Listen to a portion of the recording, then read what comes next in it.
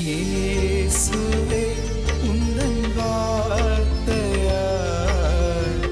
வாழ்வு வளம் பெறுமே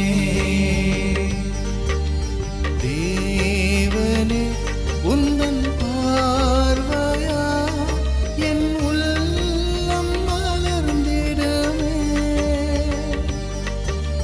இயேசுவே என்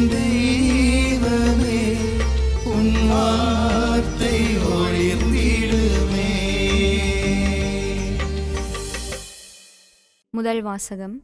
திருத்தூதர் பணிகள் நூலிலிருந்து வாசகம். அதிகாரம் இருபது. திருவசனங்கள் பதினேழு தொடக்கம் இருபத்தி ஏழு வரை. அந்நாள்களில் பவுல் மிலேத்துவிலிருந்து எபேசிக்கு ஆள் அனுப்பி திருச்சபையின் மூப்பர்களை வரவழைத்தார்.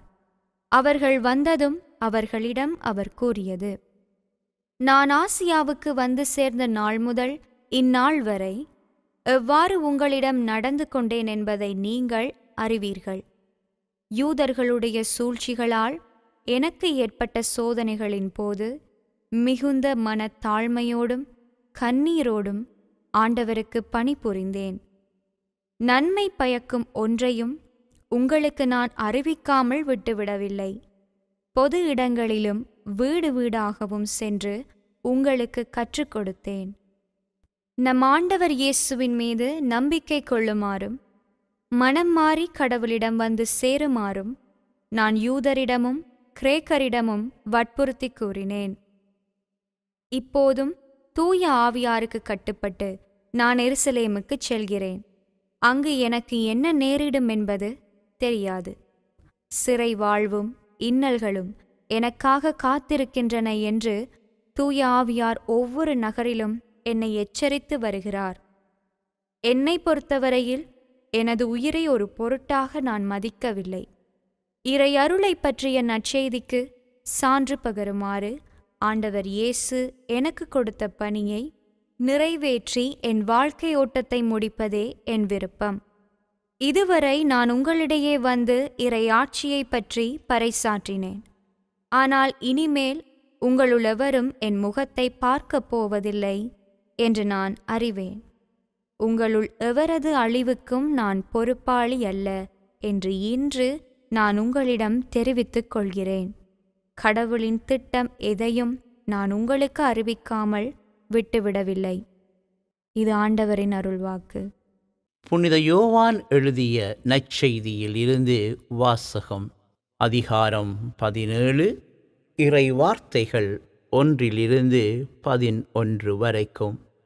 இயேசு வானத்தை அன்னார்ந்து பார்த்து வேண்டியது. தந்தையே நேரம் வந்துவிட்டது. உம் மகன் உம்மை மாட்சிப்படுத்துமாறு நீர் மகனை மாட்சிப்படுத்தும். ஏனெனில் நீர் அவரிடம் ஒப்படைத்தவர்கள். அனைவரும் அவர் நிலை வாழ்வை அருளுமாறு மனிதர் அனைவர் மீதும் அவருக்கு அதிகாரம் அளித்துள்ளீர். உண்மையான ஒரே கடவுளாகிய உம்மையும் நீர் அனுப்பிய இயேசு கிறிஸ்துவையும் அறிவதே நிலை வாழ்வு. நான் செய்யுமாறு நீர் என்னிடம் ஒப்படைத்திருந்த வேலையைச் செய்து முடித்து நான் உம்மை உலகில் மாட்சிப்படுத்தினேன். தந்தையே உலகம் தோன்றும் முன்பே நீர் என்னை மாட்சிப்படுத்தியுள்ளீர். இப்போது உம் திருமுன் அதே மாட்சியை எனக்கு தந்தருளும். நீர் இவ்வுலகில் இருந்து தேர்ந்தெடுத்து என்னிடம் ஒப்படைத்த மக்களுக்கு நான் உமது பெயரை வெளிப்படுத்தினேன். உமக்கு உரியவர்களாய் இருந்து அவர்களை நீர் என்னிடம் ஒப்படைத்தீர். அவர்களும் உம் வார்த்தைகளை கடைப்பிடித்தார்கள். நீர் எனக்குத் தந்தவை அனைத்தும் உம்மிடமிருந்தே வந்தவை என்பது இப்போது அவர்களுக்கு தெரியும். ஏனெனில் நீர் என்னிடம் சொன்னவற்றையே நான் அவர்களிடமும் சொன்னேன். அவர்களும் அதை ஏற்றுக்கொண்டு நான் உம்மிடமிருந்து வந்தேன் என்பதை உண்மையில் அறிந்து கொண்டார்கள். நீரே என்னை அனுப்பினீர் என்பதையும் நம்பினார்கள். அவர்களுக்காக நான் வேண்டுகின்றேன். உலகிற்காக அல்ல மாறாக நீர் என்னிடம் ஒப்படைத்தவர்களுக்காகவே வேண்டுகின்றேன். அவர்கள் உமக்கு உரியவர்கள். என்னுடையதெல்லாம் உம்முடையதே உம்முடையதும் என்னுடையதே. அவர்கள் வழியாய் நான் மாட்சி பெற்றிருக்கின்றேன். இனி நான் உலகில் இருக்கப் போவதில்லை. அவர்கள் உலகில் இருப்பார்கள். நான் உம்மிடம் வருகின்றேன். இது கிறிஸ்து இயேசுவின் வாழ்வு தரும் நற்செய்தி. கிறிஸ்து இயேசுவில் அன்புக்குரிய சகோதர சகோதரிகளே இந்த வெர்பம் தொலைக்காட்சியின் வழியாக இறை ஆசிரை நிறைவாக பெந்திரு பெற வந்திருக்கூடிய அன்பு நேயர் பெருமக்களே நிலை வாழ்வு நிறை வாழ்வு என்பது என்ன? நாம் கிறிஸ்துவை அறிந்து அவரை அன்பு செய்வதுதான் நிலை வாழ்வு நிறைவாழ்வு ஆண்டவர் இயேசு கிறிஸ்து தந்தை இறைவனை நோக்கி ஜெபித்தது. அவர்கள் ஒன்றாக இருப்பார்களாக. ஆகவே அந்த ஒன்றிப்பு தன்மை என்பது நாம் ஆண்டவரை எந்தளவுக்கு அறிந்தவர்களாக நாம் இருக்கின்றோம்.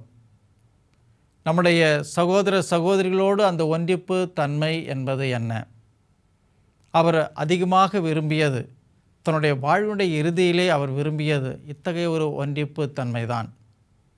அந்த இறை ஒன்றிப்பு என்பது நம்முடைய வாழக்கூடிய நம்முடைய சகோதர சகோதரிகளின் வழியாக இந்த ஒரு ஒன்றிப்பு தன்மையிலே அந்த நிலை வாழ்வை நிறைவாழ்வை நாம் பெற முடியும். அந்த ஒரு நிறைவான வாழ்வை பெறுவதற்கு நாம் எந்த அளவுக்கு முயற்சி எடுத்து கொண்டு இருக்கிறோம் ஆக இந்த உலக வாழ்க்கை நாம் வாழ்கின்ற பொழுது எத்தனை ஒரு நிறைவை நாம் அடைந்து கொண்டிருக்கிறோம்? பல நேர பல்வேறுபட்ட தேடுதல்களை மனிதன் ஓடிக்கொண்டிருக்கிறான் தேடிக்கொண்டே இருக்கின்றான் அவ்வாறு தேடி ஓடுகின்ற பொழுது அவனுடைய வாழ்க்கையிலே பல வெறுமைகளை சந்திக்கின்றான். ஓடி ஓடி ஓடி ஓடி உட்கலந்த ஜோதியை நாடி நாடி நாடி நாடி நாட்களும் கடந்து போய் வாடி வாடி வாடி வாடி மாண்டுவிட்ட மாந்தர்கால் கோடி கோடி கோடி கோடி எண்ணிருந்த கோடியே என்று சித்தர் சிவவாக்கியார் சொல்வார். ஆகவே ஓடி ஓடி நாம் இறைவனை தேடுகின்றோம் நாடுகின்றோம் என்று தேடினாலும் நம்முள் கரைந்த உள் நிறைக்கூடிய அந்த இறை ஆற்றலை இறை அருளை நாம் பல நேரங்களில் கண்டு உணர்ந்து அதை அனுபவிக்க மறந்து விடுகிறோம். ஆகவே அந்த உண்மையான ஒரு நிறை வாழ்வு என்பது நாம் இறைவனிலே நாம் சங்க சங்கமிப்பதிலே தான் இருக்கிறது. இந்த உலக வாழ்க்கையிலே நாம் ஈடுபட்டு இந்த உலக பொருட்களிலே இந்த உலக இன்பங்களிலே நாம் ஈடுபடுகின்ற பொழுது நாம் அதிலே சங்கமிக்கின்ற பொழுது பல நேரங்களில் பல பெருமைகளை சந்திக்கக்கூடிய அவர்களாக இருக்கிறோம். அல்லது பலவிதமான அழிவுகளுக்கு நாம் இட்டு சென்று அதிலே ஒரு நிறைவு காண முடியாத ஒரு நிலைக்கு ஆட்பட்டு விடுகின்றோம். ஆனால் ஒரு நிலைத்த நீடித்த ஒரு நிறைவை நமக்கு தருவது இந்த இறை ஒன்றிப்பு தான். இயேசுவில் எந்த அளவுக்கு நாம் ஒன்றித்திருக்கின்றோமோ அந்த அளவுக்கு தான் இந்த ஒரு நிறைவை நம்மால் அடைய முடியும். அத்தகைய ஒரு ஒன்றிப்பின் வழியாக ஒரு ஆன்மீக முதிர்ச்சியும் வளர்ச்சியும் பெற வேண்டும் என்று ஆண்டவர் இன்று அழைப்பு விடுக்கின்றார். ஆகவே இத்தகைய இந்த ஒன்றிப்பு என்பது நாம் எந்தளவுக்கு நம்முடைய வாழ்க்கையிலே அனுபவிக்க முயற்சி எடுத்து கொண்டு இருக்கிறோம் என்று சிந்தித்தவர்களாக இந்த நாளிலே நாம் தியானிப்போம். ஆகவே இந்த நல்ல நாளிலே ஆண்டவர் இயேசு கிறிஸ்தனுடைய அன்பும் அமைதியும் என்றும் உங்கள் ஒவ்வொருடைய உள்ளங்களிலும் நீங்கள் வாழக்கூடிய இல்லங்களிலும் குடிகொண்டிருக்க உங்களை மனமாற வாழ்த்துகிறேன்.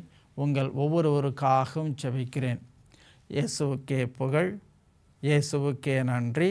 மரியே வாழ்க வாழ்க வளமுடன்.